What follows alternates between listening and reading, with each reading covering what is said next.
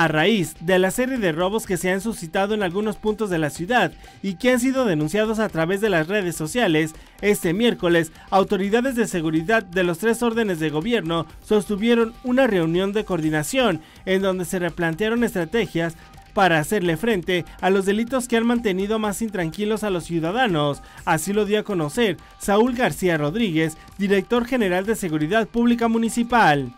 Hemos tenido acercamiento con diversos colonos y, sobre todo con las personas que, en algún momento han denunciado. Hemos eh, trabajado de la mano en estrategias. Hay que recordar que no solamente es la parte de la policía eh, que, que, tiene que hacer el trabajo en ese sentido, sino también hay recomendaciones que hacemos a los mismos ciudadanos para poder cuidar nuestro entorno. El funcionario emitió una serie de recomendaciones para evitar que los potosinos sigan siendo víctimas de la delincuencia, como dejar autos bien cerrados, verificar que puertas y ventanas de la casa estén cerradas en caso de salir, avisar a vecinos y familiares para que cuiden el patrimonio durante la ausencia.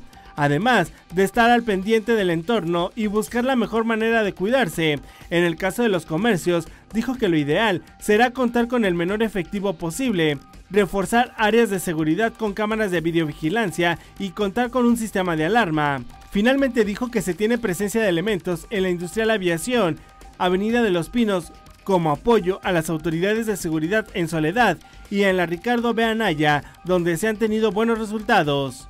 Miguel Ángel Lucio, CN13 Noticias.